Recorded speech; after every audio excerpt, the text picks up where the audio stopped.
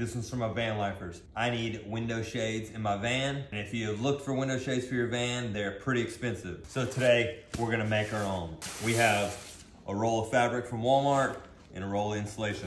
First step, cut the insulation to match your windows. Now we're gonna use that cutout and trace a template on the fabric, making it a quarter inch bigger than the actual cutout. Got everything cut out, now we glue it together. Found this Gorilla Glue spray adhesive. To make sure it lays flat, we let it sit. Now do the other side. Now we gotta repeat this a few more times.